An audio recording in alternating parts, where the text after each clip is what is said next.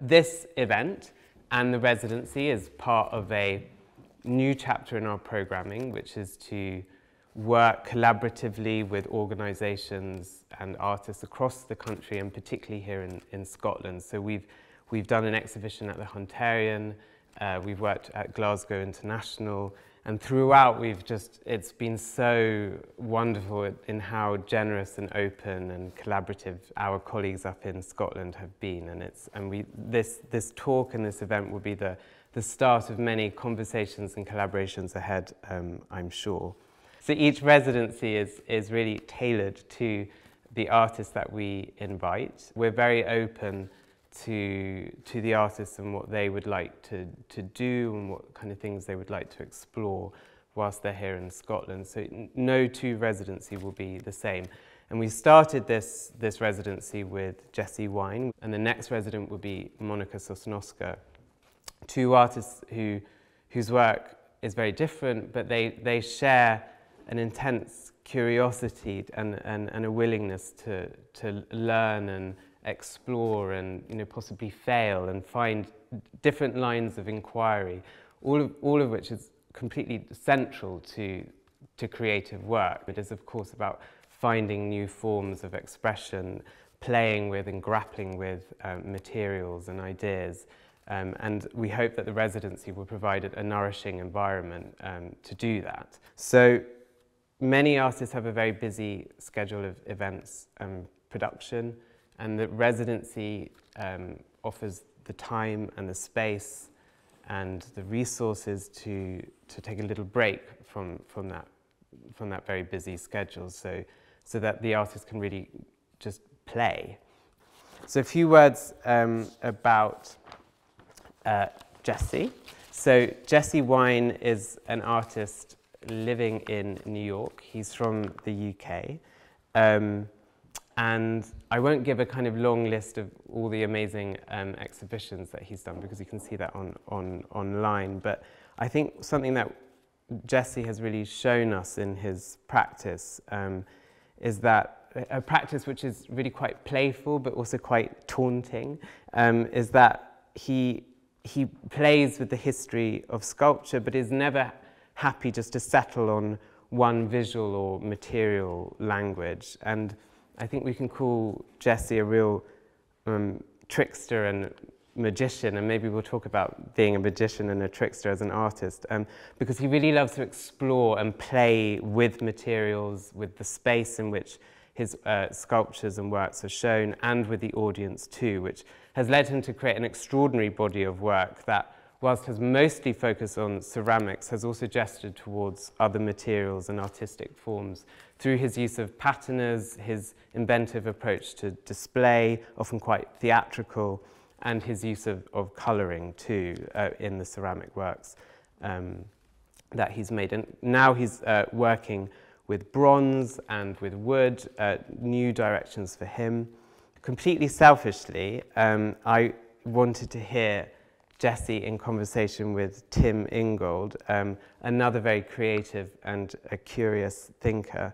Uh, so Tim is uh, an anthropologist and until recently, I believe, was the chair of social anthropology at the University of Aberdeen, so just up the road, uh, where he was in instrumental in setting up the UK's youngest department of anthropology, established in 2002. I think unlike many academics who seem to write about the world, um, I think uh, without actually ever apparently experiencing or living in it, uh, Tim's work has always been attentive to what he has called the life world in which we, like he, like all of us, live. And his world, his work is truly written of the world. And I think he has uh, an incredible sense of responsiveness and responsibility to the, to the world and the people which he has studied. Um, having conducted research on circumpolar reindeer herding and hunting amongst the Skolt Sami of the north, in northeastern Finland, he has since written about lines, materials, buildings, architecture, landscape, music, sound, handwriting, copying, and of course, art. Well, it, thanks, thanks, Jessie, and it's wonderful to be able to talk to you and to talk with, uh, with this piece. It just happened that, that last night, uh, thinking about this, uh, I turned to a book that was on my shelf by an architectural theorist called Lars Spuybroek. Uh, came out uh, about a couple of years ago, called Grace and Gravity. And, um, and, and the book is, is really about how these two principles work together. Gravity about the way in which things weigh down upon one another, grace about how things actually stand up. And I realized that this piece is a kind of uh, counterpoint, contrapuntal dialogue between these two principles. So I wanted to start by, by asking you about that because um, if you imagine something like a stone wall, a heavy stone wall or brick wall, it holds in place because every stone is placed, weighs down upon the stone beneath and weighs down upon the stone beneath. And so long as the foundations are solid, the wall will hold up. But if you take a standing human body, that's not the way it stands up. A standing human body is, is, um, is held in a sort of poise, a balance, because of the balance of forces uh, of compression and tension in, in rods and springs, which are the bones and the muscles of the body. So it, it's held in that, in that balance. So that, that leg is, to me, illustrating that principle of poise and balance, whereas the pillar on the other side, more like a column, is illustrating to me the sense of things weighing down upon one another. So that's grace and that's gravity. And for Spuybroek, this, this demonstrates the alternative principles of, of horizontality and verticality. So when we, when we, we fall into the earth like, and become clay, that's, that's the horizontal. When we stand out, when we exist, which is etymologically the same as stand out, when we ex, uh, existere, is to stand out, we, we, we reappear in the vertical. And I wonder um, how you thought about that in relation to the, the interplay of forces that makes up this work. Yeah, well, I mean, it's interestingly put because the material itself, clay, is, as you know, when you use it, is somewhat wet. Yes, and it wants to fall apart, but it also has an integrity, which you, do, which you can work with, but within certain kind of realms. And so the work sort of transcends that relationship, and well, not this work, but the material transcends that relationship in a sense because it is at once both. It is uh, somewhat bodily, and it also has like a, a, kind of independent integrity, which is what allows you know people to throw a giant pot in you know, 15 minutes, for example. So I think it does both. And I think that for a long time, the way that I was working with the material was kind of just to experiment and kind of let it collapse, let it collapse. And then slowly you realize that if you let it collapse, it will just continue to collapse and continue to collapse. And so to kind of like find devices in order for it not to collapse became a kind of a, a theme in the studio. And in fact, one of the, I mean, obviously a flat surface is a good thing to work on, you know, as we know.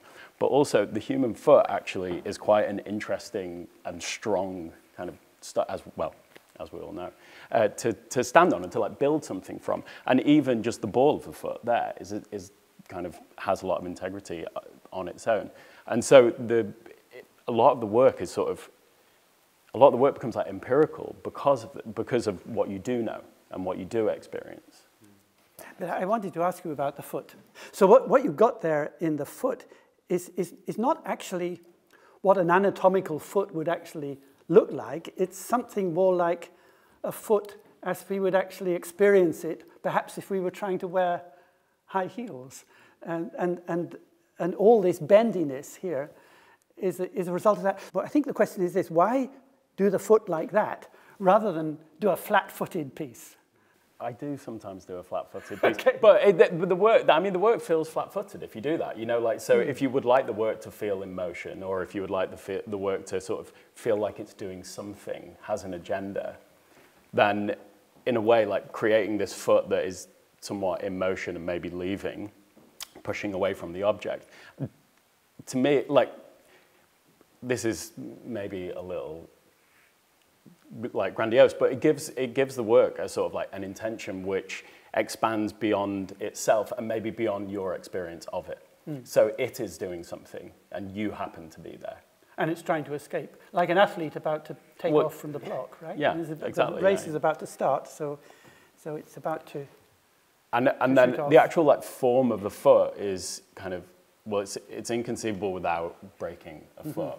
But because we know this object so well, or this thing so well that that we all have, you can. It's actually easy to imagine Mm-hmm. it, you- a foot doing this, but in, in fact impossible in reality. You couldn't do it in reality. Yeah, and so the, kind of striking that balance, which again like comes from the material, um, being able to do these things that you would not be able to do in reality, is sort of it, it is like central to kind of playing with your idea of what the work might be doing.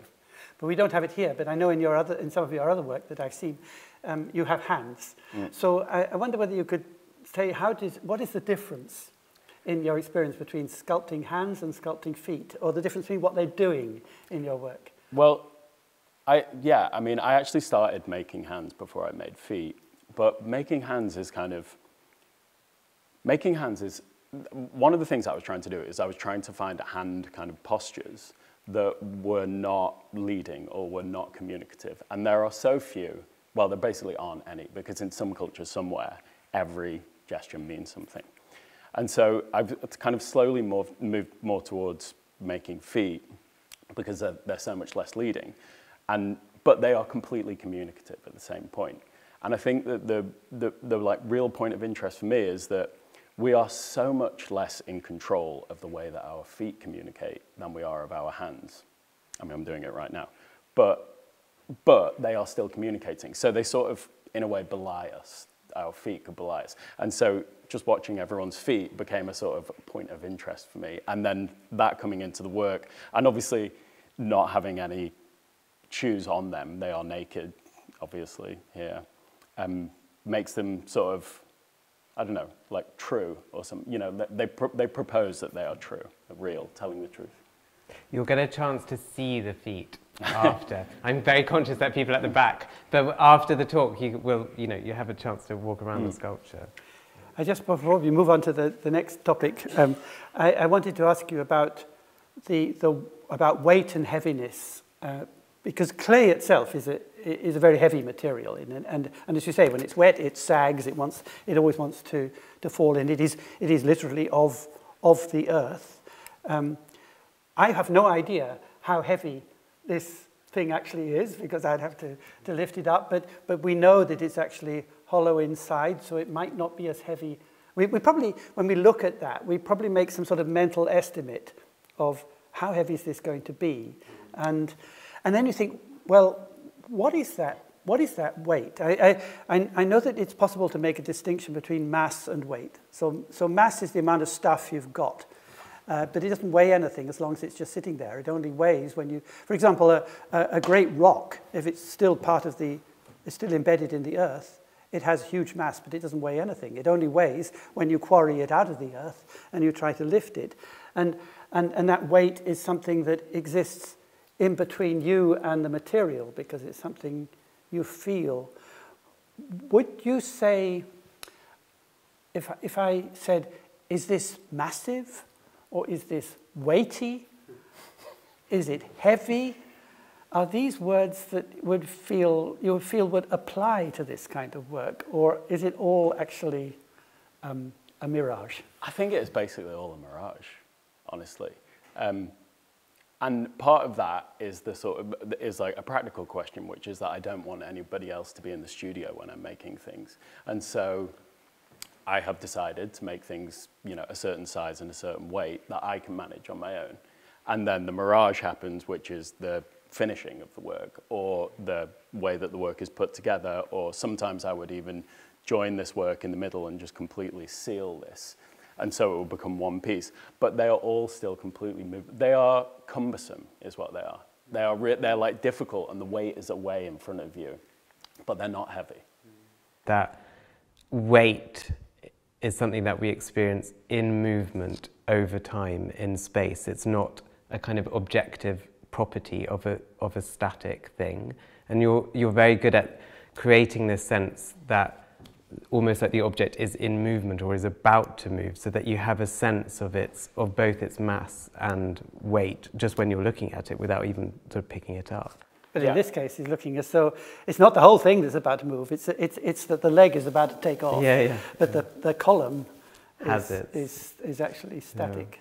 So, Maybe that's a nice segue into this you being a, a trickster, which I brought up in the introduction. I whether that's a good way of describing you, but that you have you have used clay that looks like rusted metal. I have actually picked this up when we were installing it, not not but um, and so I had I approached it thinking with with in one sense that this is hollow, rusty, cold metal, but then it is of course something completely different. So you're you have a real strong sense of clay, but then you suggest it's something else. And perhaps why why do you play with pattern as to to kind of trick the audience to deceive us in some way? Yeah, well, to begin with, it was just because the thing to do with fired ceramic is glaze it. And I just wanted to resist something in the process and not completely finish the work. Glaze is incredibly hard to control. So I, I sort of like stepped away from it and began to kind of reevaluate the way I might, finish the work and basically accidentally stepped into a much more kind of like exciting world of finishing the work in, in different materials, which kind of like, again, as I said at the beginning, just take the viewer away from the work. And even, and it does it for me as well. Like, I, I look at the work and I'm not seeing ceramic anymore. I'm seeing like a lot of different materials or processes. So I feel like the kind of, the theatricality or the kind of like fiction in the work is, is, is sort of like the fun bit in a way, where you ju- like examining and figuring out what it is, is to me the fun bit. So I became kind of, I, I began to do that perpetually and just get, just it's funny like if you can just get somebody to look at the work like you know be in some way physical around the work the experience of it is so different to just sort of standing at a distance and basically x-raying an object and saying i know how that was made and i know which materials we used to make it and therefore i kind of in one way or another understand it so i think like keeping the viewer away from that for as long as possible became sort of almost addictive for me to do that. Yeah. But it, it does raise for me questions about the nature of surfaces. I mean, let's just forget this for a moment and suppose that what we had in front of us was a rusty old oil drum. So it's all completely covered in rust. Uh, it's rusted because it's been left out into the open. It's got it's experienced the wind and the rain and everything. And, and you would say uh, that, that surface of that drum is very worn. And, and, and I'm, I'm, I'm intrigued by this notion of, of the verb to wear because it has a double meaning in English. Um, so we wear clothes, but also to wear something is to erode it, to wear it down. So we can have a worn expression on our face uh, or, or be worn out. So, and, and you think, how can that be? I mean, that, that uh, it sounds like it's, it's saying some things that are completely opposite to one another. Either you put something on or you take it off. Uh, uh, and, and, but, the, but what it tells me is something different about the nature of a surface in which actually wearing can be the same in both cases, that, that the surface what we're looking at is not something that encases or covers an object, but is actually a place where um, the inside of the object which is metal, and the outside, which is air and rain and so on, are encountering one another, interacting one another, and forming this stuff, rust, which is a bit like the surface of the ground in that way, that it's something that is continually being formed as the constitutive forces of the earth coming from below meet the erosive forces of the weather coming from above. And in that sense, the wearing is is, is, is, there's no contradiction. And, and so then I, I was thinking about that in relation to this and thinking, well, what kind of surface is this? If this, this actually was um, rusted metal, then all of that will work. And they say, yes, e exactly, this is, um, this is not a surface that covers up. It's a surface that covers. Mm. And, that's, and it's not. But now it turns out that actually it does cover up because underneath it is clay, but it doesn't cover up because actually the process in which you've made this rust effect has involved the uh, oxidization. It really is rust. So it really is. Yeah, it yeah. actually is rust. So you've got you've got both things going on at once, only the covering up bit is underneath the covering bit and not the other way around. And I don't know what you, what do you think about, uh, if, if, is, is this a work that is really about surfaces rather than or the interior? Or, Yeah, good question. Um, I think this somehow with, with, with the process of producing ceramics, somehow the surface is so separate from the material itself because in order to combine those things, it would just completely change your process. And so I think that one of the reasons that I'm particularly interested in the rust finish is because we associate rust obviously with decay, as you say, being left out in the rain. But the environment in which this work basically lives is either, well, in a crate probably for most of its life, but then in, a, in either you know, a home possibly or in a gallery. And they are incredibly controlled environments. Mm. And so for the work to in some way express a kind of freedom from it or a life before it, I think is sort of crucial to its, crucial to its being, basically. And so the fact that it kind of looks as if it has been somewhere else, when in fact it has had what is tantamount to a kid's science experiment happening to it, is, is like, you know, is kind of, I think like where it's interesting, like, I think that's... But that, that raises a contradiction in itself, the, the, the controlled environment in which this thing has to live, because you, we can ask you, is, is this work actually finished? And that's to say that, that, that the, the controlled environment would like to keep it exactly as it is finished. now, but, but actually the whole point is that it isn't.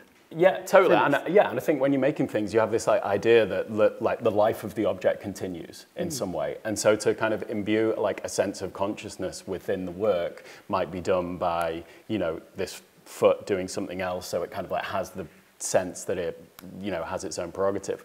But another way that I've been kind of thinking about it is through the surface, where, you know, if we were in, um, I don't know, like a house in the Amazon, the surface of this work would be slightly different because the moisture in the air would just be completely different. The humidity would change the work. So there is a kind of like, although this is a kind of outfit for the work, the outfit is the bit that has the conscious, you know, like a, a sensitivity to the environment in which it's displayed. Because I was just thinking about um, David Nash's sculptures of wood, where, he, where quite often he makes boxes or ladders out of green wood, or basically wood that's not yet been fully seasoned, so that then over time it will split and crack and warp and bend, yeah. and so that the, the sculpture has a long lifespan and is, is always changing very, very, very, very slowly. And I, um, but that's wood. Mm. And, and this is this rather fascinating difference, which I'm sure you're just beginning to explore now, between wood and clay, oh, yeah. although you know wood, we both come from the land, um, but they're really very different in that regard because um, wood actually is a, a living material. It's made out of, out of, out of organic cells. Mm. Uh, it's a lot of water in it. And clay is sort of different. I was trying to put my foot on, finger on, on sorry, put my foot on, that was a, a, real, I was trying to put my foot on the question of, of what really makes wood different from clay. Do you, would you have the feeling that, that clay is sort of inanimate compared with wood, or would you feel really there's not so much difference between them? I think, I think that there is actually it's not as inanimate as you may think. Mm. So one of the like terms when you a, a sort of technical term for clay is that it, people often say it has memory, mm. and by that they mean that if you have bent a piece of clay this way and then you flatten it and you put it in the kiln, that memory will come back to kind of point you. So it's like a spectre within the material almost. And so a lot of the time you're kind of working against that, you know, expression and quality that the material has. If you were to compare that with I mean, if this is pretending to be metal in some way, uh, or bronze, for example, which is another very sculptural material, would that be fundamentally different? Yeah, I think it would be fundamentally different. I mean, to me, it's like all process. You know, it's it's about the process by which you mm. kind of the, that you went through in order to get to the end of the thing. Yeah. The end, well, the end of the thing as you know it, at least. Yes. Yeah. yeah. Yeah, yeah. I'd, I'd like to think of a, so you use the word pretending, and then it made me think of attending. Um, and when you have these double things going on that you're aware it's one material but it, it is also another at the same time. And when you use these tr tricks and illusions it compels you as a as a viewer to attend to the work again and again and again because you have a sense that you haven't quite understood it. You haven't you haven't said ah it's clay. Ah it's metal. That you have a you have a sense that it's it's always it's something ambivalent. It's positioned between two potentials. It could, it could be metal or it could be clay. And one thing about uh, that is that it makes you more attentive to the work so that the work continues to live in another way in, in the viewer that, you, that people want to keep looking, keep want, wanting to keep explore the work. And I thought this play with patina and illusion is I'm just thinking to bring us on to the, the final section that we, were, we wanted to address today. Um, it's something that can encourage a form of attentiveness and curiosity, um, which is, of course, at the root of making a work for you, that you have to be attentive to the clay, to the wood, um, and be curious about its materials and forms in order to, to, to be sort of properly responsive to it. So I just wanted to, that was, that was less a question, just a, a, a, a, chapter three of the next part of the, because Tim, you've written a lot about attention and, attend, and attending to. So maybe you can expand a bit more on that. Well, we were talking about some of your other work where you've got lots of hands and feet sort of coming up out of something that looks a bit like a, a mattress. Um, one of the questions we, we, we had was, to what extent when, a, when somebody comes along to look at the work, uh, are they welcomed in, or is their experience more like there being an interloper or an eavesdropper on a conversation that parts of the work are having with themselves? So you have all these hands and feet, and they're having a, they're having a little, a little um, sorry, we're having an in-house conversation amongst ourselves, thank you very much. Uh, you have no business here. Or um, do, join, do join in. And, and um, so there's a certain ambivalence about some of some of those works we were looking at. So if we, if we look at this work here, where there, we don't have hands and we have what looks like an escape attempt um, that is being held back by the bum, well, two things really. First of all, suppose I'm a viewer and I come in and look at this, then do I feel myself part of the event? Or do I feel that I'm just happen to be looking through a keyhole at something that's not part of me at all. That was one question. I think the other that's related to it is, is where does the air belong in all this?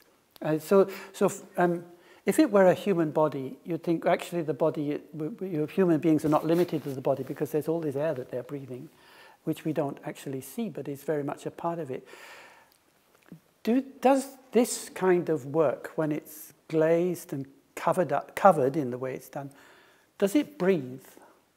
Does it, is, it, is it involved in a dialogue with its immediate environment, or is it closed in upon itself? I think it's proposing that it's involved in a dialogue. Then what kind of dialogue is it? Well, I think one of the one of the nicer descriptions that somebody has given me of my work is that certain parts of it put you back in your body. And what they meant by that was like the knee pit or the ankle or these kind of weaker points, which sort of everybody's like sensed the pain in, let's say, or sen- you know, sense the pain and then not a pain. So you have like a good context of sort of feeling in that part of the body.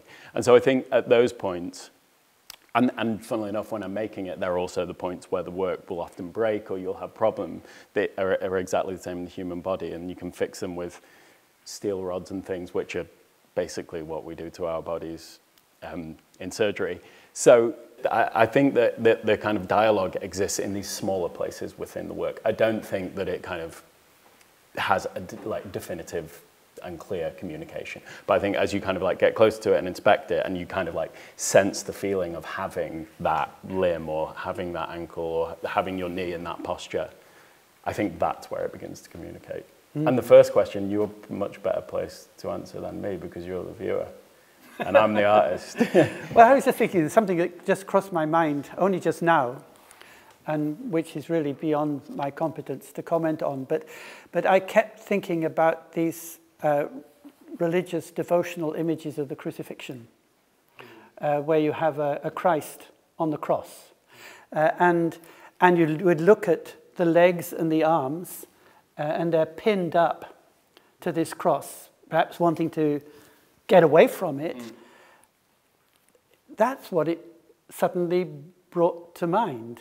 The, the, the, um, the, the uh, tension between the utter rigidity of the cross, in which is, you know, it would be solid beams mm.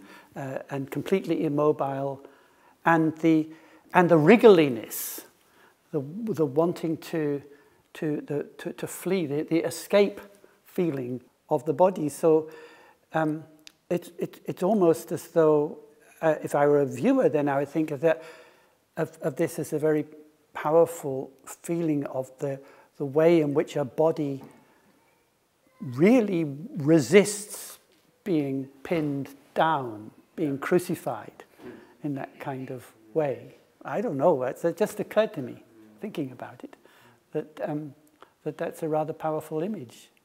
And, but what I don't know about, I was going to ask you about, is the hole in the top. What's the point of that? Well, what is the point of that? Well, usually I really resist putting holes in my work because it just is so leading and it, it just, it, it's British modernism. It's becomes Barbara Hepworth, that moment, you know, like, and you can't, that is hers, you know, and you can't fight that in a way. But this was shown in an exhibition of a, about eight works and uh, this was the final work that was produced for it. And often when you're producing like the final work for an exhibition, you're sort of maybe very consciously trying to kind of tie it up or something. And I think that the hole is this purposefully played out gesture that is used and overused. Um, and then the, and, and the other part of that is that you can see through, suddenly this thing is not as solid as it was, basically. You can see through if you're tall enough. Yeah, you, you have to be tall like you. Yeah, it's yeah, not no, no good for short people. Well, even when you look at the work, it's like divided into quadrants, which are completely separate from one another. Mm. And they're almost kind of against one another. Yeah. So yeah, exactly. They exist in tension. And because they exist in tension and something in tension or something in suspension is, is not something static, but something that is ongoing. Mm. And there you have the kind of sense of the life of the work that you can't control and pin it down, even if you could control to an extent the environment in which it lives. And so if since we're I'm, I'm timekeeper, so we don't we, we start a little bit late. So I'm going to open this up to the the floor. Yeah, I was intrigued by um, you talked about moving on from hands to feet, because hands were I think you said too they communicated too much, and they lead too much, and I just wondered why you want to. What's the intention to avoid that? I think the intention to avoid that is that the the work becomes something specific to certain people it, just from like a hand gesture or a hand movement. So I, don't know if you know this uh, Bruno Munari book of like Italian hand gestures, for example. There are all, the, you know, tons of gestures and they mean tons of things. But it, it, you know, that it's sort of maybe a little sort of more famous in Italian culture that hands communicate more than they do in other cultures. But I don't think it's actually true. I just think that the Italians are very expressive and talk about it a lot. So what I didn't, I, I just didn't, I realized when I was making hands that you can't kind of separate the hand from it meaning something somewhere. Whereas the foot is sort of, it can be like at once timid and confident. But I, I think I'm asking why do you want, as an artist, why do you want to avoid that? What, what's, what's your intention? Because I want the work to be more abstract than that. I don't want it to be located super specifically. I don't want it to sort of to me, it's almost like you would write something on the work, do you know, if you have the hand in a very specific gesture.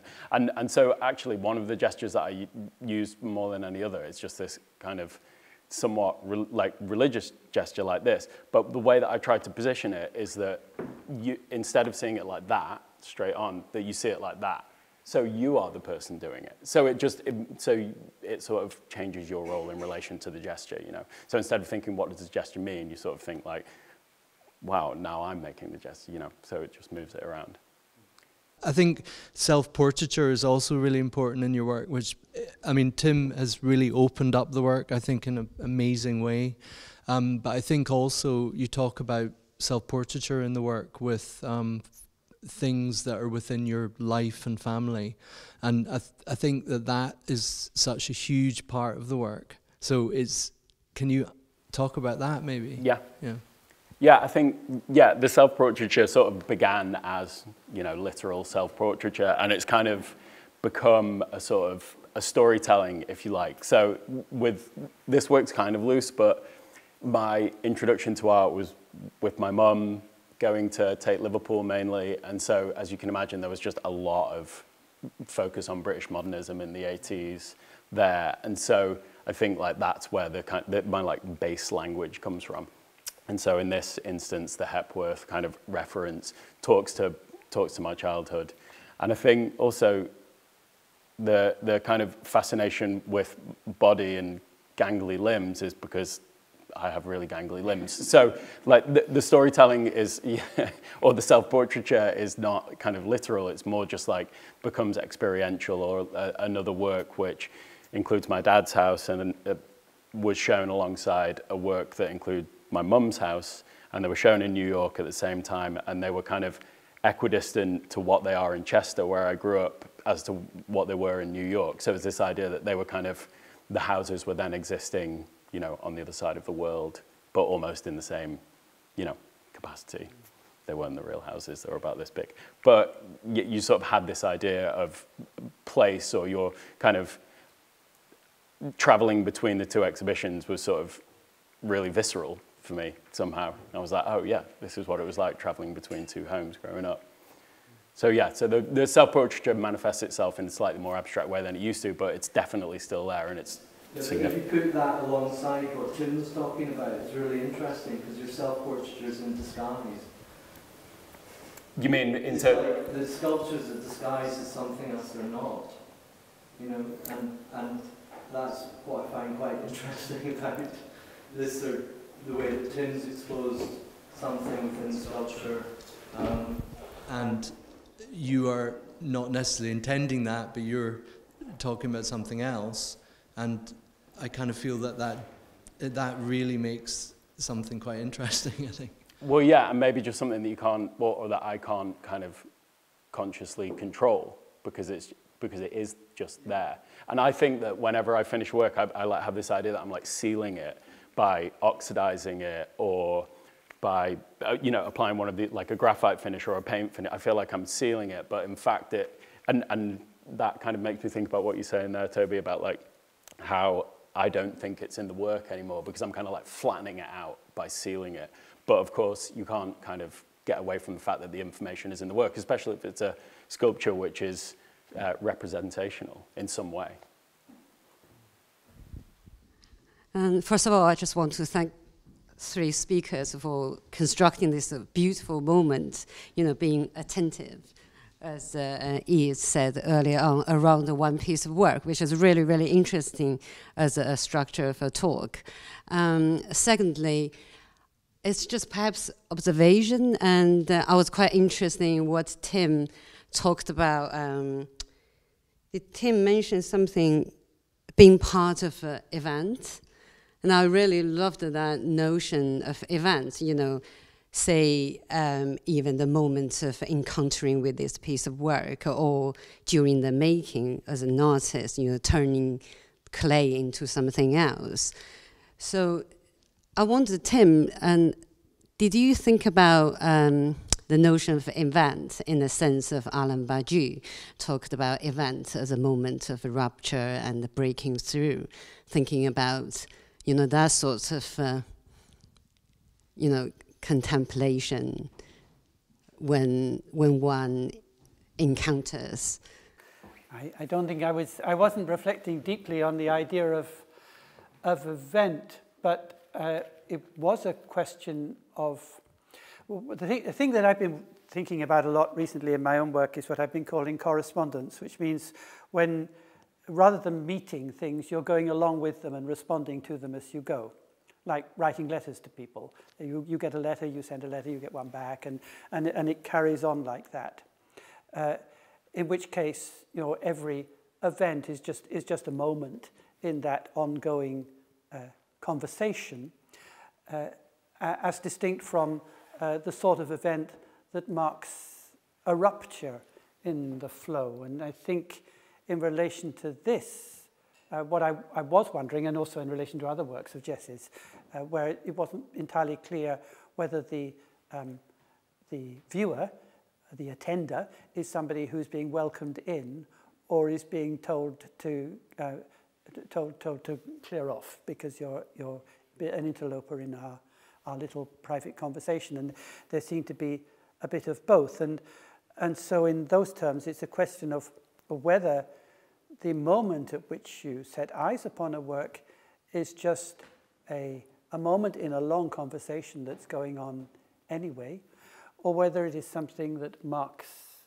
a break, a shock, a sudden, whoop, um, I've come to the wrong place moment, or opened the wrong door. These, these sorts of moments, um, is, it, is it one of those? Or is it trying to be both at once? It's, yeah, I mean, I've, it has to be both at once. Yeah. I think it just has to be.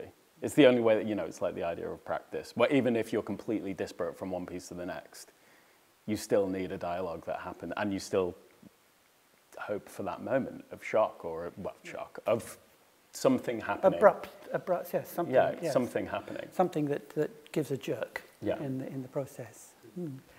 I think we have time just for one more from the back, and then we'll wrap up.